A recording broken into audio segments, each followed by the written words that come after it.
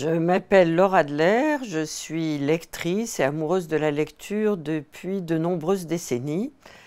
Et chaque année, c'est la rentrée littéraire. Donc chaque année, j'ai le cœur qui bat comme une adolescente parce que j'ouvre euh, les livres, les enveloppes euh, des livres en me disant il va m'arriver quelque chose de très important qui va changer mon rapport au monde.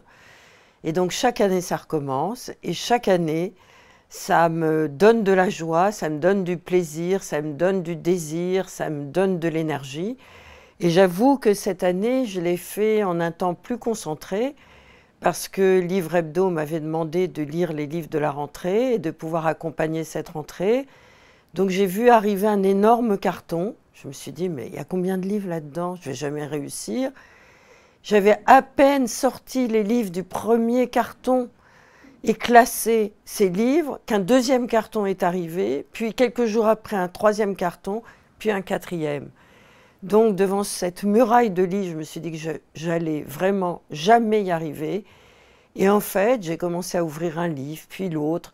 J'ai vagabondé, j'ai navigué, j'ai surfé, j'ai slamé, j'ai pris ma propre, ma, ma propre cadence, j'ai trouvé mon propre rythme, j'ai trouvé ma propre respiration à l'intérieur de ce que j'appellerais un énorme bouquet de fleurs, qui est cette rentrée littéraire, où il y a des fleurs de différentes espèces, des fleurs de différentes couleurs et des fleurs de différentes odeurs.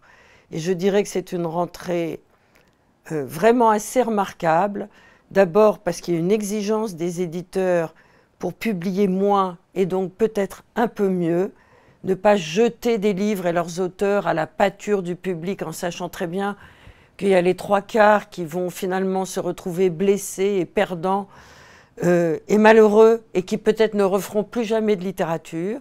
Donc il y a une exigence des éditeurs, il y a une concentration des livres, il y a une variété des livres, il y a une croyance à la littérature avec de plus en plus de jeunes qui prennent la littérature pour dire leur rapport au monde. Il y a beaucoup de livres sur la mémoire, la mémoire du XXe siècle, notamment et ses tourments. Et puis, il y a beaucoup de livres de femmes, de livres de femmes engagées, féministes, fières d'exister, ayant trouvé leur langue, ayant trouvé leur appartenance au monde.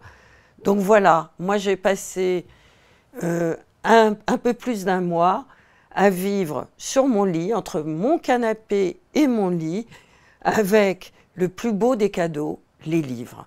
Et donc, euh, merci Livrette de